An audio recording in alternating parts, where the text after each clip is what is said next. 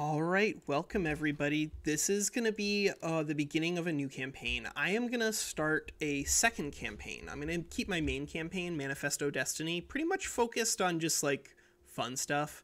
Um, but this one's going to be an educational campaign, and I'm going to do it with that that eye. So what we've done here is uh, we started up another one of these world record attempts, but I'm going to specifically lean it towards like behaviors that would be natural for someone who's just like playing the game rather than someone who is specifically doing speedrunning. So I'm going to try to like make sure that we don't do things like end up with a colossal amount of debt at the end. That might be worth it. It it might because like once you once once you don't have a lot of aristocrats that collect money from debt, then like that doesn't matter anymore when you're when you're just speedrunning. But but when you're not, it does. And so what we've done is a normal setup for a normal thing. So you'll note here that I am in de- debug mode because this is Academy stuff.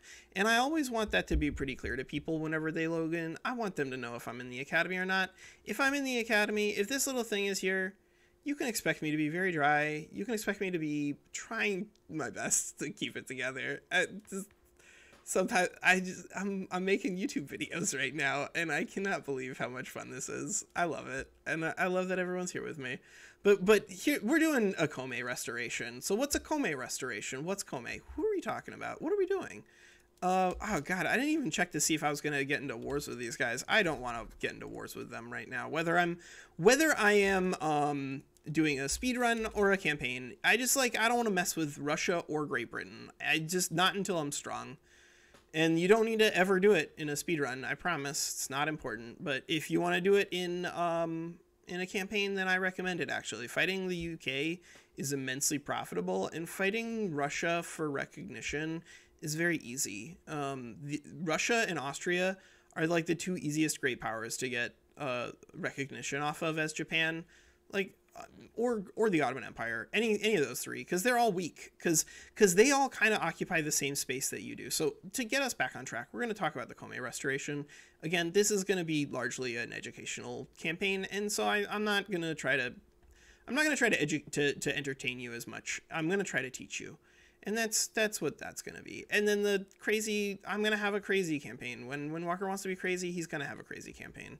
That's what I'm gonna do.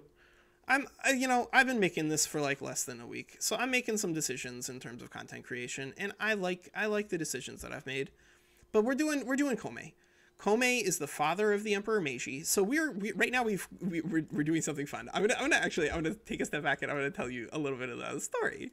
So the Emperor the emperor um, is not depicted on the screen right now. The emperor is a shadow figure who exists as a, a figurehead within the government, but the real power right now is Ienari uh, Tokugawa, and that should be reversed because the Tokugawa is the family name, so it should be Tokugawa Ienari, because um, that's this is Japan. That's a very easy fix. They should do that. Otherwise, it's silly. Like Matsudara Daira is the the family name. I, I should have recognized that, but we we I'm gonna pause because I'm gonna tell you a story. It's gonna I, you guys are gonna love the narrative that I'm gonna weave for you. I promise you're gonna love it. Um, so so the the shogun has the the nominal authority in country right now in the country right now, and the shogun is from a mechanical gameplay standpoint just awful. This is a terrible character, and you want to get rid of him. Same with this one, also terrible character, also want to get rid of them. You just like you don't ever want your ruler to be associated with landowners, kind of no matter what. They're always bad. Get rid of them. But as a story, as a story, you're the Emperor Komei, and you have been approached by a coalition uh, of of people who are also infuriated with Tokugawa. Okay, so so you have been approached by Matsudara Daira uh, Masu Masujiro.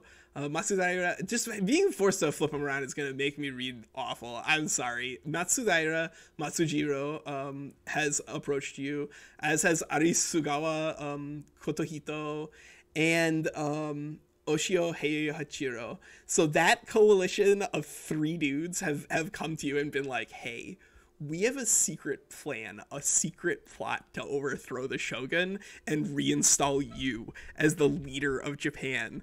Do you want in on this? And em- the Emperor Komei, for those of you who are unfamiliar with him, just go watch my long my long stream video. Um, this one I'm gonna cut into episodes because it's gonna be done that way. But but I, I'm gonna be showing you devout strats if if this if this if our friend can just stay alive.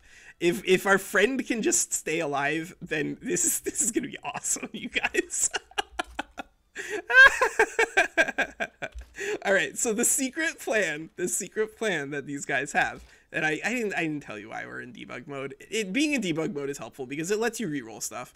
This one's critical. You're the person who's in charge of your shogunate, whether you're doing a speed run, whether you're doing a really goofball thing, um, you can apparently lock tooltips through the. Oh, all right. Well, I all right. I'm learning a lot. I'm learning a lot. Well, you know what? Good. I, I like learning. I hope you like learning. I hope that's why you're here. Um, all right. So so you have to re-roll your shogunate leader until you have the jingoist ideology here. That one's critical. This one's not. This guy, this guy, he's just he's along for the ride in this one because he happens to be a royalist, which means that the peasants are going to be extra happy than like a lot happier than they would they would be normally, but not not critical. That's just nice to have. And then if you if if um if Oshio comes with um with a, a, ideology that helps you out, that's good too, but it's also not necessary. This one, however, is absolutely necessary, and without it, you're you're gonna suffer. Um, but yeah, this this little triple alliance of guys in the Japanese government have approached you and been like, "We want to bring you back into power, Emperor," and you're like, "All right, cool, sounds good. What's the plan?" The plan initially is that uh, because because here we have our own mole, the Matsudaira leader. He's actually working for us, but but from within the shogunate, and he he is gonna make the argument to the samurai that they need a professional army, and that's the problem right now. Because what's going on historically right now, and this is this is real, is that you have a, like a bunch of ronin and a bunch of uh, samurai who like literally can't get jobs because there's nobody killing each other right now. And so so what we're gonna do is we're gonna make it so that just just and this is something that you can even say oh yeah of course that makes so much sense duh you know how this is happening? Because this mole just convinces the shogun that if they have a professional army it'll be loyal to him? That's that's what he's telling him right now and that's the sort of that's that's whenever whenever Walker from the campaign is going to spill over. He's going to spill over occasionally whenever we start doing some some storytelling. But whenever he's talk, whenever we're talking about mechanics, I'm gonna think really hard. Um, and so what we're gonna do is we're gonna build. We're gonna build a bunch of stuff.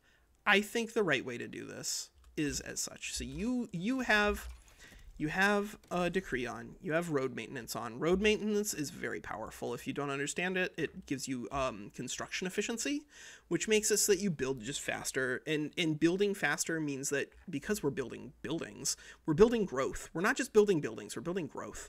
And we're building growth very fast. So we started with a five stack of construction sectors, then a five of logging, five construction, five logging. And then what we're going to do in this game, um, that the we're also going to set up a secondary um, a secondary building structure here in Kanto. So in the campaign, I showed off what happens if you build into Tohoku. I don't think you should build into Tohoku. Maybe. Tohoku does have a lot more wood, but I, I suspect it's not necessary. It also has a lot more iron, but I suspect it's still not necessary. Because I think you have to build in Kansai, and I think you have to build in Kyushu, and then you get one other place to build, and I think I think probably Kanto is the way to go because this is going to be your capital, and so once the once the the shogun has been deposed, you don't want to be moving out into like the middle of nowhere. You want to be moving out to a well-developed city. So that's where we're going to build, um, and and we are going to build growth. We're going to build growth. Where most of what we're going to do in the game is build growth. Building growth is very good. Um, if, if you don't get why building growth is good, it's because it snowballs. Uh, and so just like, don't worry about how much growth you can sustain. It doesn't matter. Like just as much as humanly possible. That's how much you can sustain. You want to, you want to be just holding on to growth until all of your numbers become stack overflows because they will. This is 1.0.3. You, you will. If you know what you're doing, you'll get there. You will get there. I promise. Um, and now we've got wood. So why do I care? So what am I doing? I'm looking in. I, I, want this to be educational to everybody. I want this to be educational to everybody. So I am going to talk about things that are going to be kind of rote to some of you. The very first thing I'm going to do is I'm going to go ahead and I'm going to set up this. Gonna, this is the outliner. This is important. You should set it up. Very important for everybody. Does not matter if you're doing a campaign, Speedrun does not matter. You want you want that set up. Um, maybe we got lucky. Maybe we got lucky and Russia isn't going to colonize over there. That's possible. That would be really good. That'd be really good. I would love that. Um, we're working on colonization. So we're working on professional army right now. We actually probably don't even need peasants in government, but it does make them happy and getting extra stuff is always a good thing. Don't don't be upset if you get extra stuff. That's pretty good. Unfortunately, uh, the peasants are going to have to be asked to leave government temporarily. Not because not because we don't trust Arusa, uh, Arusagawa, because because he's a good guy. He is a good guy. It's because the people that he represents uh, would be mad about it. So so what? How are we approaching this game? We are going to try to just drive all, remove all of the laws that are propping up the shogun, and then and then um, Matsudaira is going to take on a, a public persona that is going to make him despised. People are going to hate him because he's going to be cruel. It's affected, right? He's he's not actually, but he's doing it intentionally. Um, so that way, when he offends people who are currently nominally supporting the shogun, because not everybody, in fact, most people here don't actually support us, Komei. They support they support Ienari, but but but Matsudaira is nominally the dude in charge, and he just treats all the people underneath him like trash. And he does it because he's trying to get them to leave the party and start associating over here with Oshio. And Oshio, he's he's incredibly popular. This is something that did not happen in a in our speedrun attempt because unfortunately he died or he stepped down. I don't know. I for I right clicked through the event. I did. Um, but but 125 popularity, charismatic, inspirational orator firebrand. This is the greatest public speaker in um in japan right now and he's part of our little conspiracy. He's the greatest public speaker in japan right now. Like no no duh. 125 popularity. I i don't know what happened in the the stream. I'm gonna guess that he stepped down but i'm gonna tell myself from a like a narrative standpoint that he was assassinated by somebody because that would also happen that would a thousand percent also happen. Um, and so that's that's what I'm gonna say canonically happened to him in that run. That someone's gonna check the footage and say, "Nah, he just stepped down and you just right clicked on it because you're dumb." Um, and that's that's probably true. That is almost certainly probably true. Unfortunately, this this public speaker, um, and he's also just like an, an incredible behind doors uh, diplomat and negotiator. This is this is our like our Diplo twenty five dude that we have in our little conspiracy. This is our uh, intrigue 20 dude that we have in our little conspiracy. I like if you've never played Crusader Kings 2, it's a great game.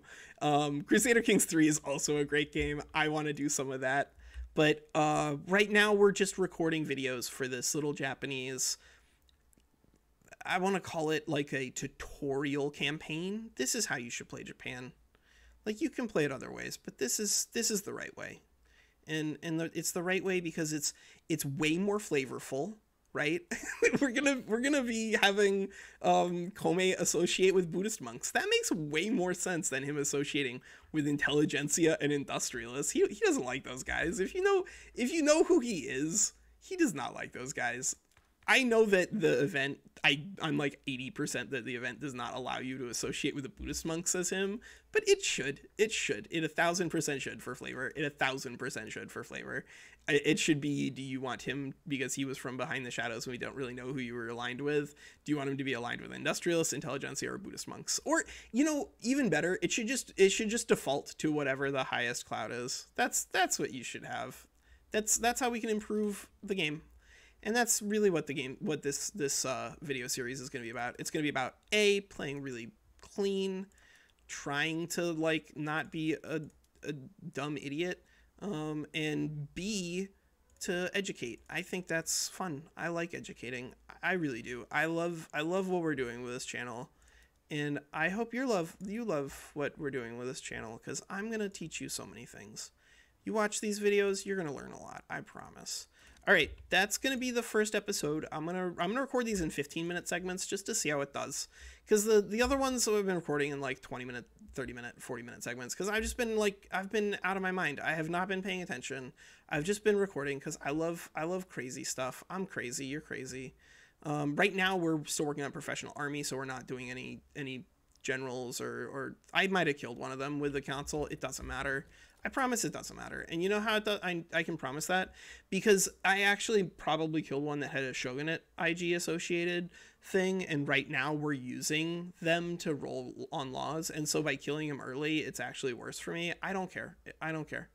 That this is sometimes I'm gonna make things that are nominally not gonna happen when you do the campaign at home because I am using the debug but I'm not gonna do it for like cheating on rolls. I this is this is a proof of concept, and for the people who want to use it as a tutorial for a good campaign, you can do that because I want to do that. And for the people who want to use it as a tutorial for a speed run, you can a thousand percent, and I guarantee you a thousand percent optimize.